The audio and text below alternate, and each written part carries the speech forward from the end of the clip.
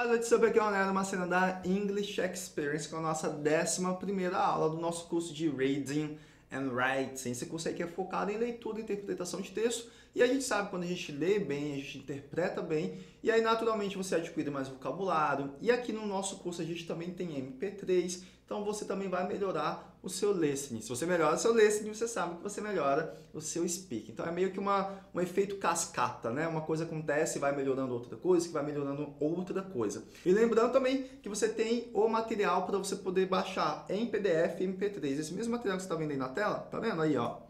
você também vai conseguir baixar ele. É só você procurar na descrição desse vídeo o link que vai direcionar para o meu blog. Lá no meu blog você vai conseguir baixar isso gratuitamente, beleza? E por esse motivo, meus consagrados minhas consagradas, se você não está inscrito no canal, já se inscreva no canal, deixe esse joinha maroto aí no vídeo, porque assim eu entendo que você está gostando dos meus vídeos, está gostando dos meus materiais e assim eu vou gravar mais e mais materiais. Lembrando que só aqui no canal, cara, eu tenho só de, de aula de gramática, aula completíssima, assim, de 10, 15, 20 minutos, tem mais de 60 aulas tem uma batelada de material, então dá uma fuçada nesse material que com certeza, nesses vídeos, na verdade, né, que com certeza você vai encontrar algum material que vai te ajudar aí na sua jornada rumo à fluência. Por isso, meu jovem gafanhoto, deixe esse like aí no vídeo.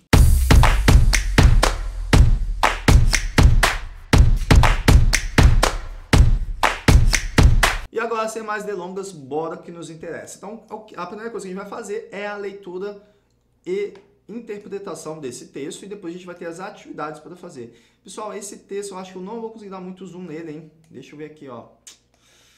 Não tá legal. Ah, não, deu, deu. Acho que aqui vai ficar bom, ó. Deu bom. Beleza, então bora fazer a leitura e eu vou explicando para você, eu vou dando algumas dicas em relação a esse texto, beleza? Deixa eu colocar aqui e bora fazer a leitura. Rockall is a very small island. Então, Rockall is a very small island. Então, Rockall, que é o nome da ilha, é uma ilha muito pequena. 290 kilometers from the nearest land. Ó, 290 quilômetros de distância. Aqui a gente precisa fazer uma tradução mais natural, né? 290 quilômetros de distância da terra, que é o land, da terra mais próxima. Esse nearest seria o mais próximo. Land in its isolated position in the middle of the North Atlantic Ocean. Ó, in its isolated position in the middle of the North Atlantic Ocean. Na sua posição isolada no meio do Atlântico Norte. Então ele está querendo falar o seguinte, que essa ilha fica localizada em um lugar totalmente isolado no meio do Atlântico Norte, do Oceano Atlântico Norte. Ocean, it has some pretty terrible weather. It has, então it has seria o quê? A ilha, né? A ilha, uh, it has some pretty, pretty terrible weather. Então a ilha tem algumas, um, um clima muito terrível, um clima muito ruim. Weather. It's usually very cold and windy. Ó, it's usually very cold and windy. It's usually está se referindo ao clima, né? Então, o clima usually normalmente é very cold, muito frio e ventoso, tem bastante vento. Windy, and the ocean often covers the island in water. And the ocean often covers the island in water. Então, e o oceano frequentemente cobre a ilha em água. Então, provavelmente a ilha não é uma ilha muito alta. Quando o oceano sobe, ele vai lá e cobre boa parte dessa ilha. Não deu para entender se cobre a ilha toda. Eu acho que não cobre a ilha toda, porque eu já li esse texto. Depois eu vou explicar por que eu acho que não. Mas a ideia é cobrir boa parte dessa ilha. People don't live on the island because there isn't any water to drink and you can't grow food there. Ó, People don't live on the island. As pessoas não moram nessa ilha, então não tem ninguém morando nessa ilha. Because there isn't any water to drink, porque não tem nenhuma água para beber. And you can't grow food there. E você não consegue fazer crescer comida, né? Se você não tem água potável, você não vai conseguir regar as plantinhas lá, comida, e aí não vai ter comida para você crescer, plantar lá dentro, lá na ilha, né? There. So why is British man Nick Hancock planning to live there for two months? Ó, so why is British man? Então, por que, que o britânico, o homem britânico, né, British man, Nick Hancock, planning to live there for two months. Planejando morar lá por dois meses. Então, por que, que o britânico, Nick, está planejando morar lá por dois meses? Isso é o que a gente vai descobrir agora. Months. Nick is an explorer and loves being outdoors. Ó, Nick is an explorer. Então, Nick é um explorador. Explorador é as pessoas que ficam explorando as coisas, né? Como o próprio nome já diz. And loves being outdoors. E adora estar ao ar livre. Esse outdoors é pro lado de fora, que a gente pode entender como ao ar livre, que é uma tradução também possível para essa palavra. Outdoors. Things like terrible weather aren't usually a problem for him. Ó, things like terrible weather, coisas como um clima horrível, aren't usually a problem for him. Não é frequentemente um problema para ele. Him. He first visited Rockall in 2012. He first visited Rockall in 2012. A primeira vez que ele visitou a ilha foi em 2012. 2012, and then decided to return there and live there. And then decided to return there and live there. Então, ele decidiu retornar lá e morar lá. There.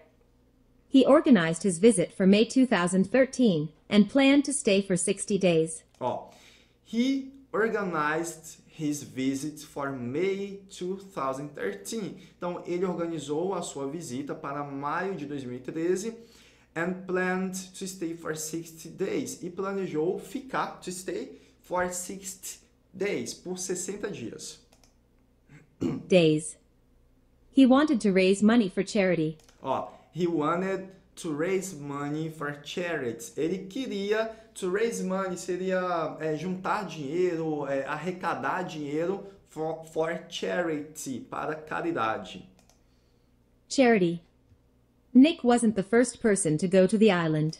Ó, Nick wasn't the first person to go to the island. Então Nick não foi a primeira pessoa a ir para a ilha. But he hoped to spend more time there than visitors before him. But he hoped to spend more time. Então, mas ele esperava passar mais tempo there, lá, than visitors before him, do que os visitantes antes dele, né? Então ele queria passar mais tempo que as outras pessoas que já estiveram lá. Him. His home for the visit was a small yellow box, one meter high and about 2.5 meters long. Ó, his home for the visit was a small yellow box. Então, a, a casa para sua visita era uma caixa amarela pequena. Então, ele ia ficar numa caixa pequena amarela, era lá que ele ia morar. Uh, one meter high, um metro de altura, and about 2.5 me- meters long. Então, um metro de altura com dois metros e meio de, de largura, né? Então, é, é bem pequeno, ele não ia conseguir ficar em pé nessa caixa, né? Long.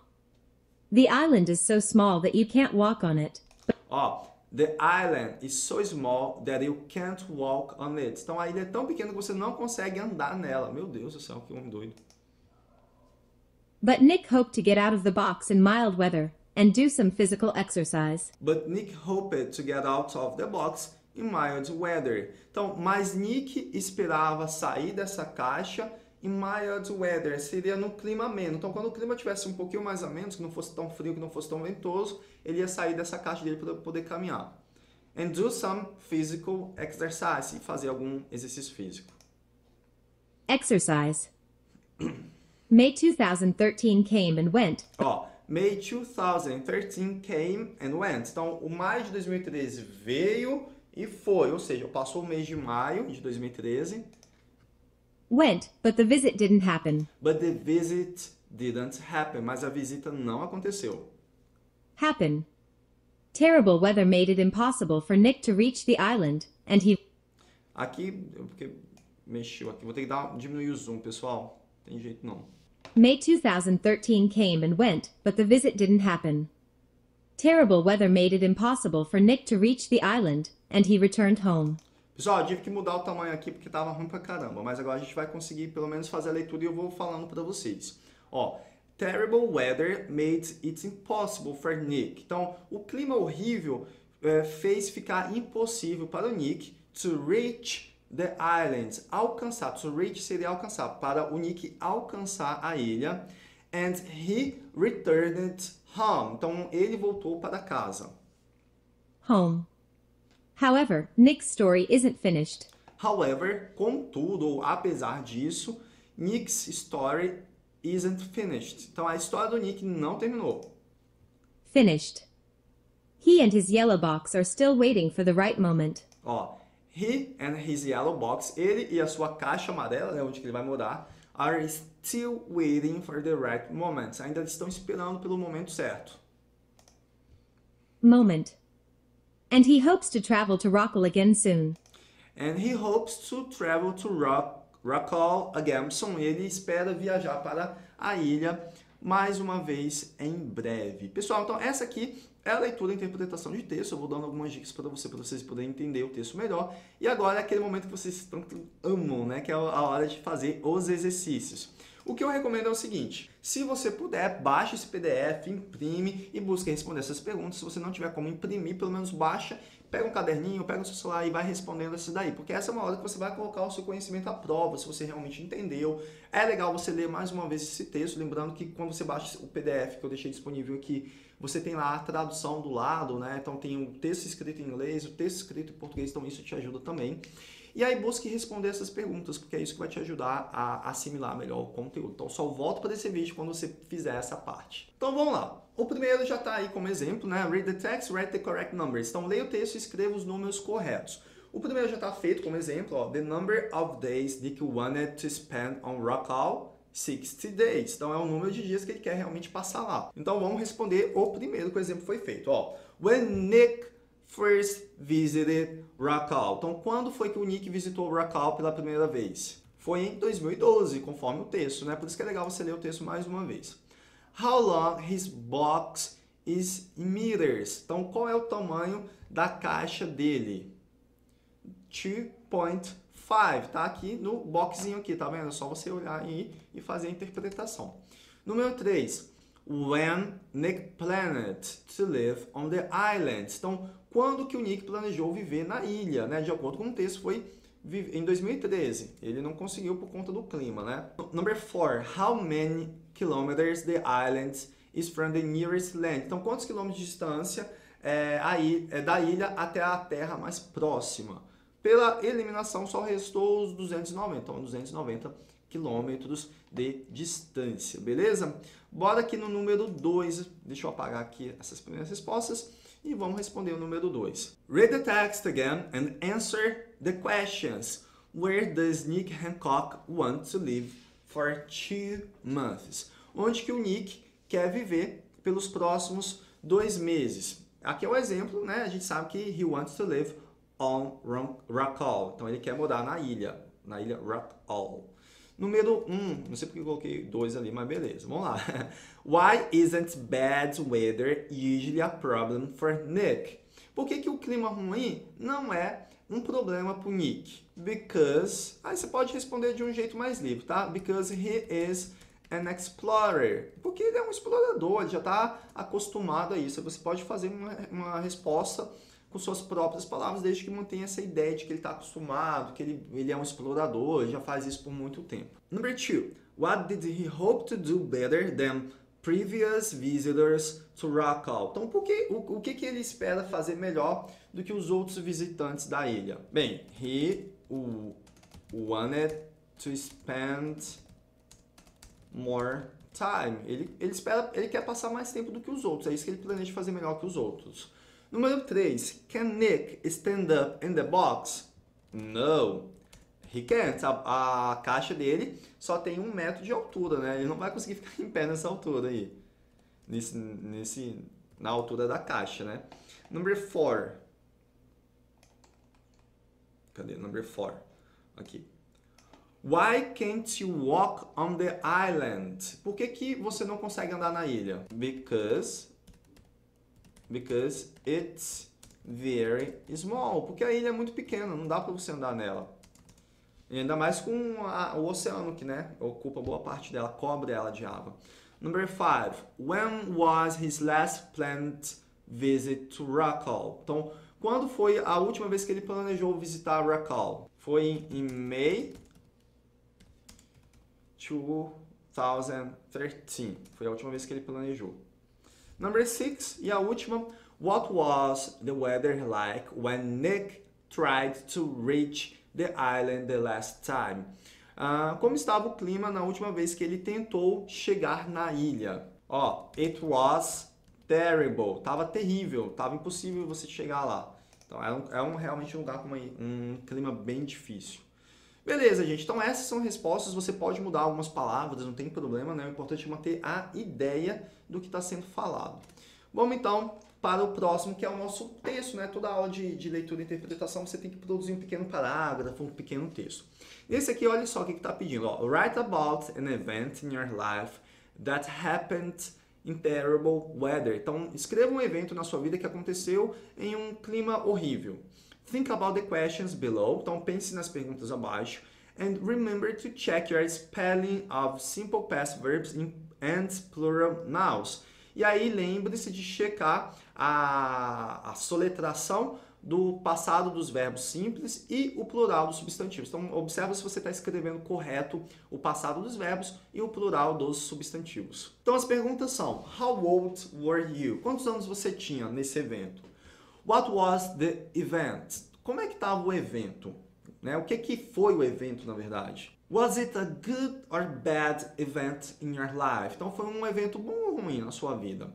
Where did it happen? Onde isso aconteceu? E por último, what was the weather like? Como estava o clima? Como que, como que se parecia esse clima?